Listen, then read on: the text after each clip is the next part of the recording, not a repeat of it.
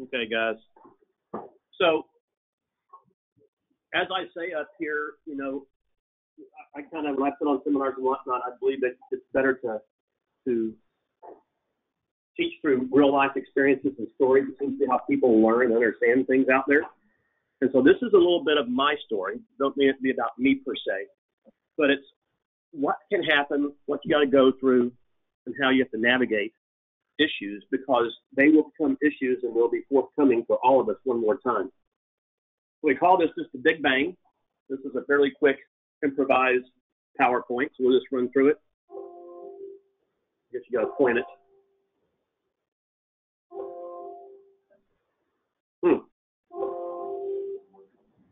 Ah, helps go the right direction. So, in 1985, who was in business in 85? A couple of us were, not a whole lot. What happened in 85?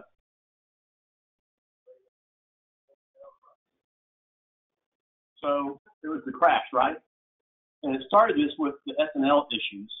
And then in about 96, the government came in, they changed the tax laws. They went from what was a four to one tax write-off for real estate to a one to one write-off. And it absolutely cratered the entire marketplace. Now, I was a young lawyer at this time. I went out of law school about a year or two. And I didn't know sneezing from Shinola at this point and didn't really recognize what was going on. Now, of course, hindsight teaches you a lot. And then, of course, once they did the tax law changes, they brought in this thing called the RTC, the Resolution Trust Company, which gathered all the properties into a big pool and sold them out in some format. And during this time, of course, you know, everybody understands there market downturns all the time. But as we were talking earlier about, you know, everybody wants to have a good roll, right? Everybody thinks it will never end, and it just keeps on going. And no one wants to believe it. It's just, it's your attitude. If you're in the investing marketplace, you have to be optimistic to move forward. And you never think that things are going to happen. So I'm a little goofy sometimes. So what's the song Beverly Hillbillies? Y'all sing, come on. Yeah, you want the arm stop no. So this isn't about Jed, but it's about me a little bit, okay? So, um, so August 2008. I had about 700 loans in portfolio. So I'll do the math in your head. If you have about an average of $100,000 property, what that adds up to. And guys, this is me. This is not some big conglomeration. And it makes you pucker a little bit. We were out rocking and rolling. We were doing 30 to 40 million a year in asset-based lending, which was pretty good at that point. We were one of the two largest asset-based lenders in Texas. There was no end. Guys, we're at 18%, two points. It was awesome. So today in the asset-based world, you know, it's around 12 and 2, 12 and 3. It seems to be the average out there to some regard. And literally, you get blinded by success. It will never end. And then the Big Bang. So what happened in August 08? Anybody remember? What was the first one that went down? Washington Mutual. I was sitting in my den watching TV at 10:30, and on Fox News is the first time they announced the closure of WAMU. And so when when WAMU closed, then came IndyMac, big bank out of California. If you guys really want to understand how the feds work and how the uh, um, FDIC works, go to YouTube, and this will scare you to death, and, and look at the story of IndyMac. It, it's really fascinating, and it'll teach you a lot about the things that went on. Who saw the movie The Big Short? I'm just telling you, that was that movie takes you through the real estate crash uh, in 08, 09, 10, and what was going on in, in reality. So, of course, WAMU was first, then IndyMac, and then I'm not sure how many other thousands of banks failed, but the rest followed. At that time, guys, I was carrying about $50 million in lines of credit. I had about $10 million of private capital. Literally, within 30 days of WAMU being announced being shut down, every banking line of credit shut off and you're done. Think about that. 30 days after that, every homeowner lost the ability to buy a home. The investors lost the ability to get out. The bottom line is, I mean, it's a total shutdown. What do you do? Y'all want to be in that position? I didn't. And so, you know, you go through a thought process. You think you're safe, right? So in the hard money lending world, we do 70% loan to values based on appraisal. Great. We had our loans spread out over 600 plus clients probably. We had sometimes we had two or three deals out there, those kind of items. And you're, you're those spread out. But guys, we weren't. You think you are. So we go out there, and of course, when the banks shut down, they're looking for solutions. They really don't want to foreclose on your properties and what was kind of things. What was going on though at this time, um, as we were taking houses back wholesale, as I note up here, we took back about 130 homes in a very, very short time frame. Again, do the math on 130 homes, what that volume is, non-income producing. How do you service that debt? So we would get houses back primarily from investors, not homeowners. I want y'all to keep that in mind. But the investor marketplace at that time was offering you 40 cents on the dollar. It wasn't cutting off at the knees, it was cutting us off at the hips. So if you have a property that had an appraisal of $100,000, you owe your bank $70,000, they're offering you 40, who wants to take that offer? None of us do. You can't do it, right? And as you go through this, as we went through this, you know, these houses started just defaulting. Of course, you're trying to reach people, they're not returning phone calls. So you have to go out and you have to find properties. And if this wasn't in my backyard of Dallas or Fort Worth, this is in Waco, Austin, San Antonio, Corpus, the Valley, Tyler, Amarillo. Um, and you can't fly there. Hey, got no money. You're driving there. When you get there, you have to investigate these houses one by one. I can't imagine going to Little Rock. No, for instance, from Dallas. I know nothing about Little Rock. You get a house back, and it's like, what do you do? You got to start all over again, right? You have to learn new marketplaces. What's going on in that particular market? What what are my options? You have to find contractors because getting houses back. Guess what? They've been stripped because the investor just walked away. Your AC is gone, wiring is gone, things of that nature. You have to learn how to how to bring in financial deposits. What do you do? What I mean again, what do you do? When you've never been there before, you don't know how to handle it. So what do you do? So I'm just going to tell y'all real quick. This is just my story. When that happens, you get you're scared to death. Who knows where Pottsboro is? A few of you. Pottsboro's on Lake Texoma, by the way. And we had a small lake house up there. And I literally told my wife, it's like, guys, we're out of here. We're moving to the lake house. We're going to file bankruptcy, get out of this thing. The kids are going to go to Pottsboro schools. Of course, my wife's going ballistic. Like, you know, you don't know what to do. And when I say you better learn how to drop to your knees, you better learn how to do that because it scares the heck out of you. So first, you go through this. At this time, I had 22 different banks online. And so I went out and I met with every banker one-on-one. And those aren't fun conversations. What do your bankers want? They want money, right? They don't care about it. As we mentioned earlier, you know, the feds are sitting inside the banks. They don't care. You got to put together a plan. But remember, bankers are just that. They're bankers. They're not investors. Some think they are, but they're not. And bankers are really looking for solutions. They want to figure out how to do things. They really don't want to own properties. Now, I will tell you, there were some banks out there that didn't care. Of course, in hindsight, you learn why they didn't care. You know, Provident Bank was a bank over in Fort Worth that we had picked up a $2 million line of credit with, paid them a one point fee up front, and we have a contractual obligation where they have to lend me $2 million at the prices pursuant to the documents. We did four deals and they cut us off. Got my money. Took a year and a half to get it back. Could you sue the bank? You could, but how long would that take? How much money would it take? You don't want to do it. But things happen. Then, of course, you learn what's going on. Well, the feds are there telling them you all have problems. Compass Bank. I just saw uh, something online. There was a $98 million settlement uh, with an investor who had properties. Compass was telling them, we're going to renew your loans, we're going to renew your loans, we're going to renew your loans. Oops, sorry, we're foreclosing on you. They did the same thing to me. I had a $5 million line with Compass. We were paying things off. and they were bought by um, who were they bought by? Um, big Spanish bank bought them. BB, it BBVA bought them? Yeah.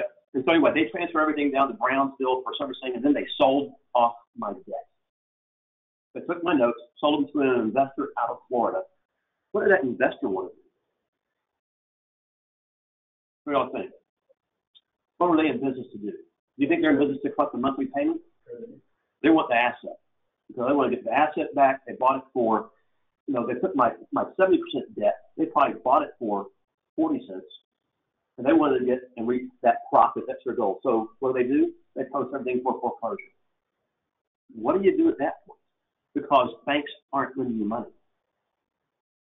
What would y'all do? Pardon me? Chapter eleven. Well, you could. But does anybody here want to file bankruptcy?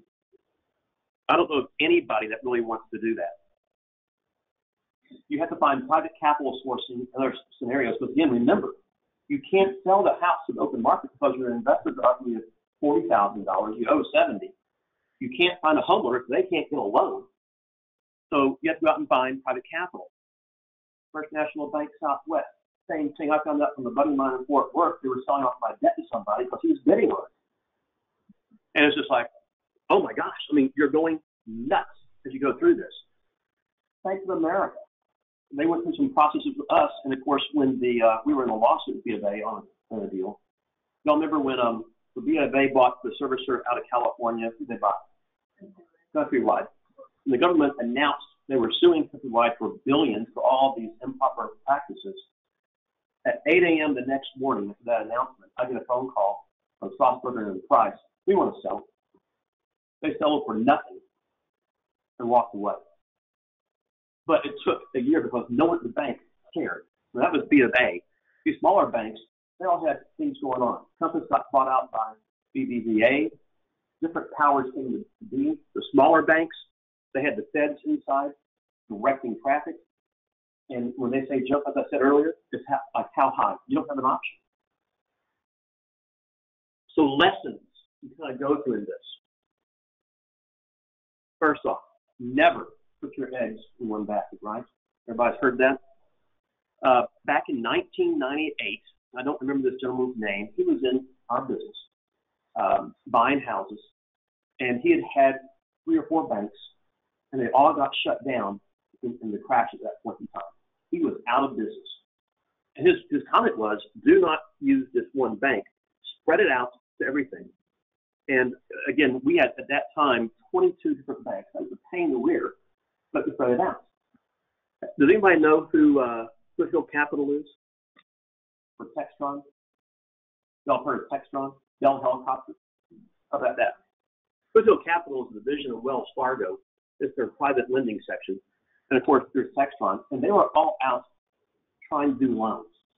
And they had come to us wanting us to consolidate all of our lending in one place. They were offering what's called a LIBOR rate, which would have cut my interest rates by about one and a half percent. And when you have, you know, tens and tens and tens of millions of dollars, it adds up, right? It was extremely attractive to do that. You know, having your money in one place, not 22 banks, you're getting all this extra money.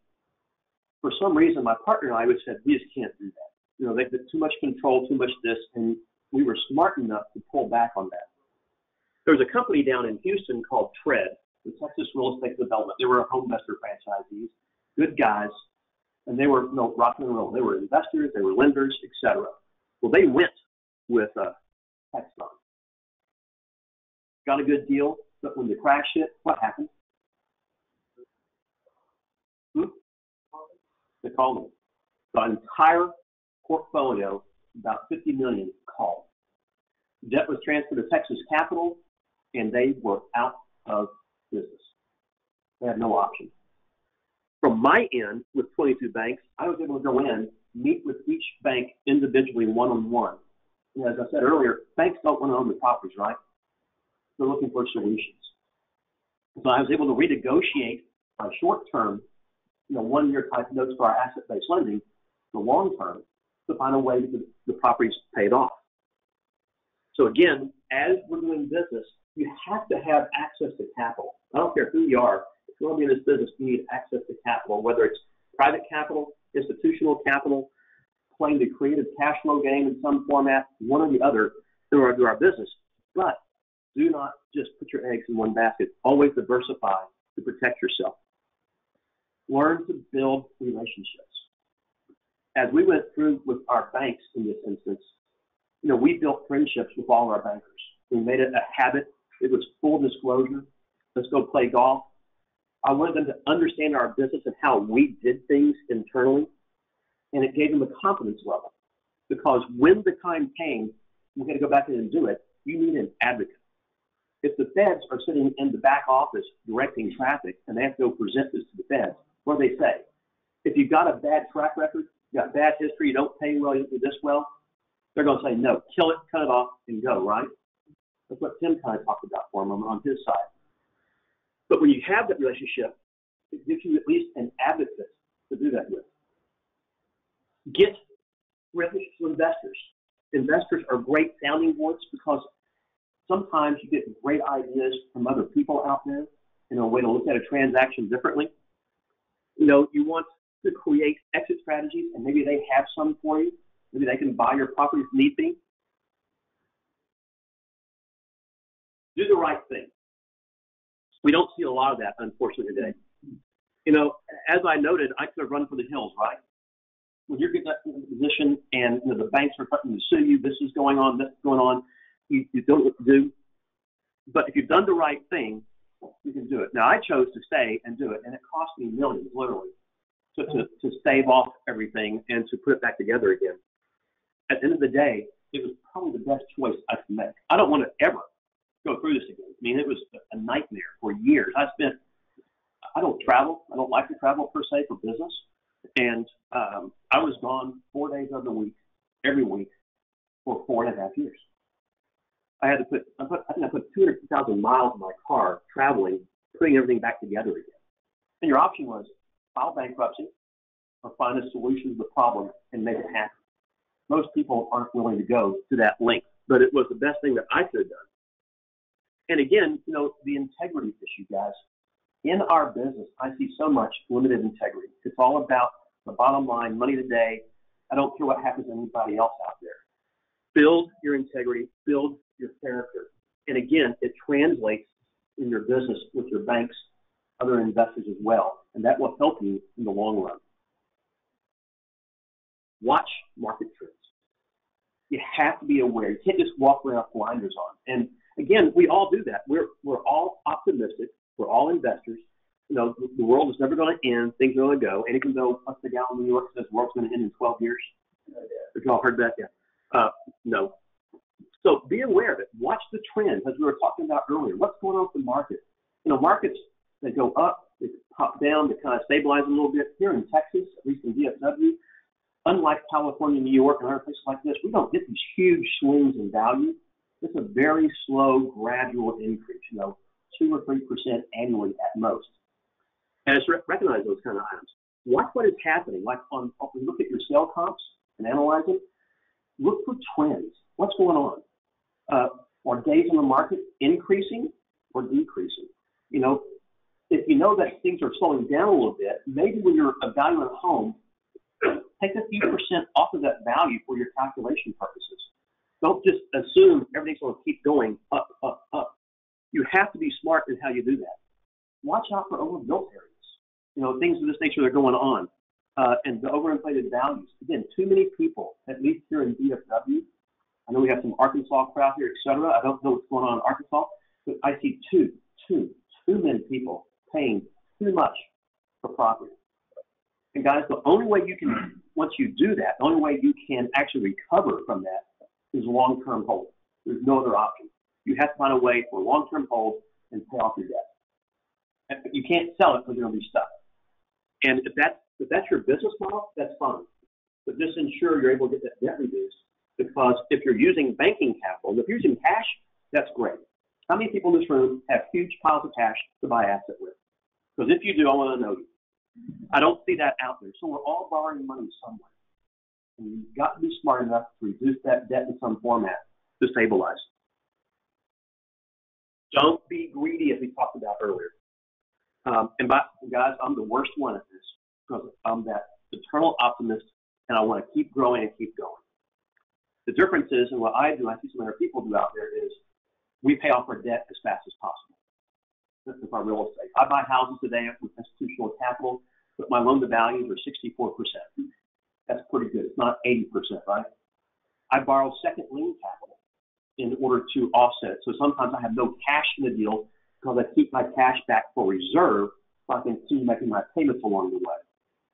But on my second lien capital, it's not 15 year money. It's 18 month money. It's 24, it's 36. That means I'm making zero dollars on my asset while I'm holding it. And so as you go through this, you have to anticipate it, and you don't have to control the world. No, I, I, I want to be world dominant in the real estate investment business. That's just my mentality. And I have to pull myself back from that brink constantly. So just, again, being smart as we go through this. Exit strategies. How many in the room have multiple exit strategies? Because I see most investors, their thought process stops at the end of the nose. Too often that happens. They, they buy a home they get a house under contract and they don't really know what the back end exit strategy is going to be until they've already bought the house. Sometimes that's too late. You want to plan in advance know what it is. But what if you buy a home and your exit strategy is retail? And that's it. And what if you can't sell the property? What are you going to do? What are you going to tell your private investor put the money up to do that? Or what are you going to tell your bank you can't sell? Or whatever it might be. You have to have other options. It may be you have to hotel the property. Assume y'all know what that is, which is a cross between the wholesale and retail marketplace in some format. Maybe you have rental investors who buy. What do rental investors buy houses at? What, what percentage? Y'all know? right now, it's probably about 80, I'd say, in, in the DFW area. So they're not paying you 100 cents on the dollar. There might be somebody that does. You might find someone with an IRA that wants to make a, a, a return on investment. Uh, but normally, they're not going to pay you 100%. So when I walk into a deal, I'm always looking for at least three ways out of every deal I've got, whatever it might be. My current uh, option and has been historically is a seller financing. So there's always going to be someone there to buy the home if you offer the financing. Even in the subprime days when you could fog a mirror and get a loan, we were able to sell our, our, our properties with financing. Not as attractive as it is today, but you can do that. And as you go through this with your exit strategies, if you don't have them, create them. But you have to have short-term solutions to your problem out there. You have to have long-term options in our business. You have to have cash reserves. And I see too many investors who have zero. They've all bought into the guru packages that you're going to get rich quick in real estate, and that's not real life, and we've all seen that out there. You know, you have to develop cash flow. What runs our businesses, guys, is cash flow. It is not equity. It is not the ability to buy and sell and get out of the deal and get X dollars. It is cash flow. Work yourself towards the development of cash flow. When the crash hit for us, we had many, many, many, many homes that were debt free. It was cash flow. I had enough room between my houses and my uh, what people owed me, what I owed our bank, that I only had positive cash flow in some regard. And then I said earlier, I think one of the smartest things you have to do is learn to reduce your debt quickly. Now, again, that's part where too many investors are too greedy and want cash today, not tomorrow. so, what was my solution to all this mess, okay? Let me ask this question. What would y'all do? You, you just took back 130 houses. You owe your bank 13 million of non-income producing property. What do you do? You have vacant houses coming in all over the place. Okay, negotiate with the bank. We did that. What else? Okay, so you have a house. You find it. It needs ten thousand in rehab. Okay. Why?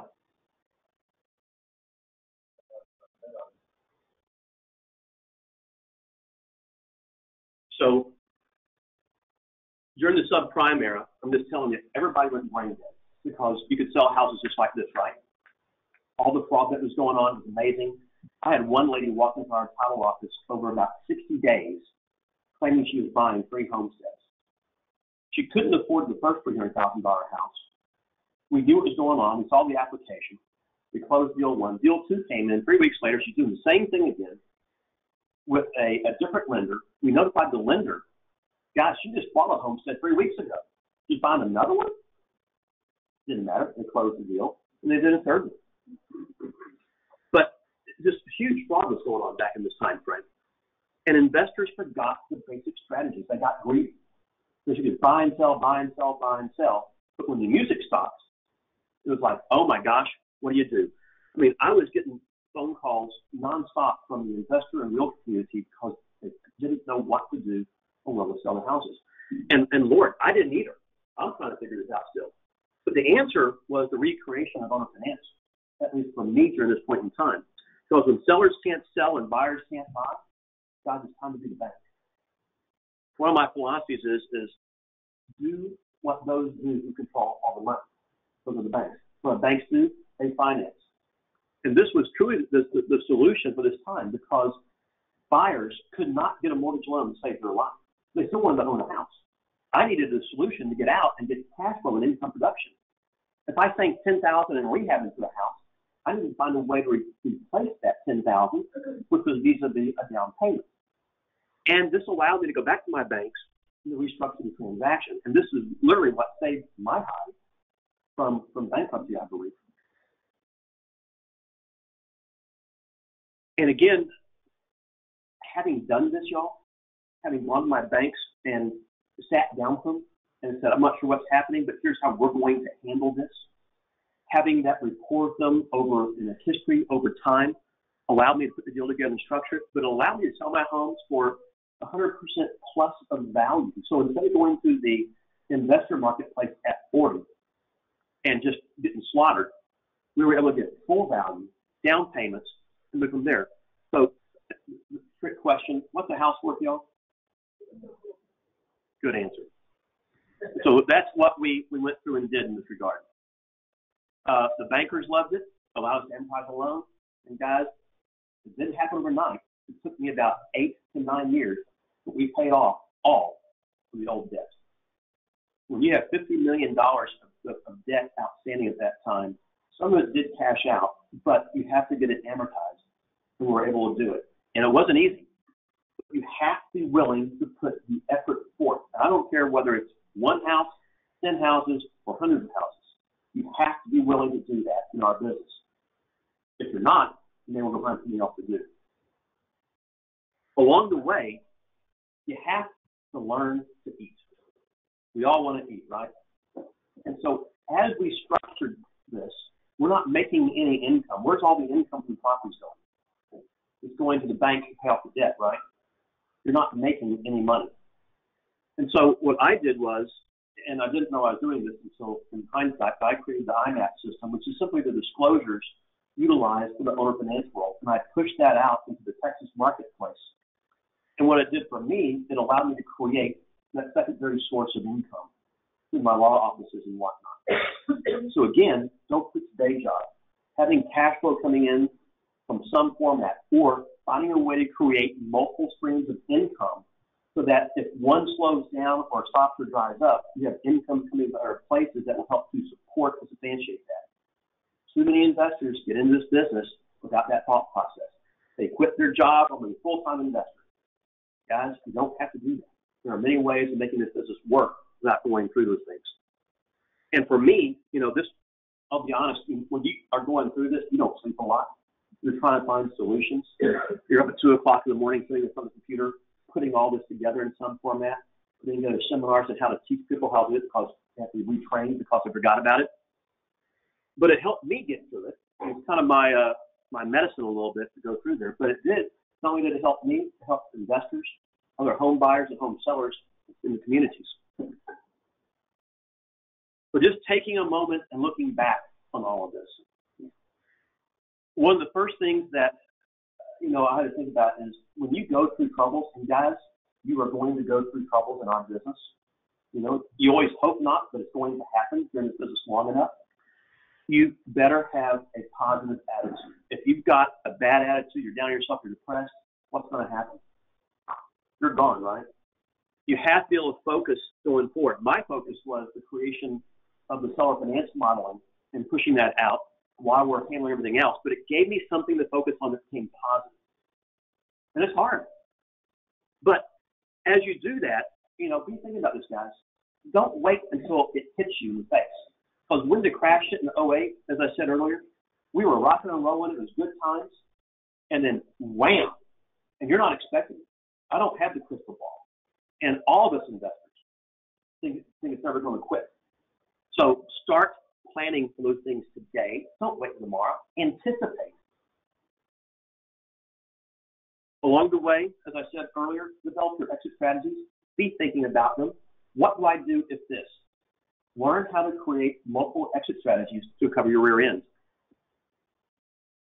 The positive relationship. I cannot again tell you how much this is important this is. With your bankers. Don't just make it a business relationship. Try to get in, let them you are, how you do things. Perform. If you want to be, you make money in business, guys, long term. You don't do it short term. At least I've never learned how to do it short term, unfortunately. And as such, you have to have that with your bankers and the community around you. If you're jacking other investors around doing the wrong thing, when times come, are they going to help you? No. Learn to generate cash flow. We had it, it helped us maintain. It, I didn't get a chance to spend a lot of money in those days because it's all going somewhere else. Today, I get that opportunity because I did it in those instances. Put money away, have savings. I don't know what the percentage is out there of people that have, they live paycheck to paycheck. It's huge in the regard. If you're going to be in the real estate investment business, do this because if you are in business and you lose a house before foreclosure to your banks or whatever it might be, you're probably out of business because the next bank, they're not going to lend you money. You're going to have to wind up going to the private capital world only, and they may not lend you money either. Always expect the best. We're all, you know, uh, eternal optimists in that regard. But guys, you have to be prepared for the worst to happen and be thinking through these things. Bottom line, my position is keep investing. I don't know of anything else better to do. You know, I could have been an engineer. I love engineering. It's been great. I'm a lawyer. I'm a title guy. My real passion is investing. It's fun. This business can be a lot of fun, whether it's buying, flipping, what it might be, learning the strategies. But this is, is the fun part of business. And I can think today in my career, as I look back, of absolutely nothing I would rather do. So we do a lot of things. This is a little bit about who we are and what we do in our businesses.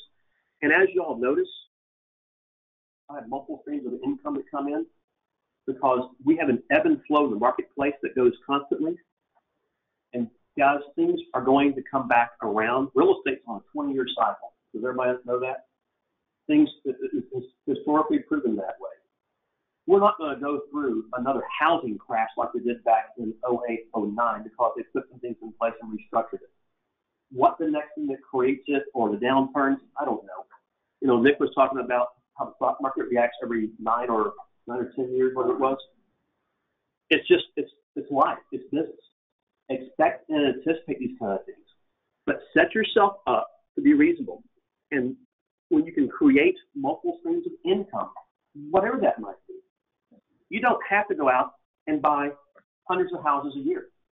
You know, you can keep your day job and buy one house a year for 10 years. And if you understand how to finance things properly, in my world, to sell finance, and how to pay off your debt over that time frame, you can have 10 houses debt free in about 12 years. $100,000 houses, it's going to generate, you know, $1,000 a month positive cash flow for you. You do two houses a year in 12 years or so, you can generate 20000 a month in positive cash flow. Would everybody like that? We all do. But again, too many investors want to jump in head first and they don't think long term. The whole approach is very myopic in that regard. So guys, think through this stuff. I don't care how big you're or whatnot, things happen. It happened to us. We lived through it. You have to have a plan of attack. You have to be able to do it the right way. Always do the right thing and build the relationships you need to build out there, and it'll keep you safe in bad times.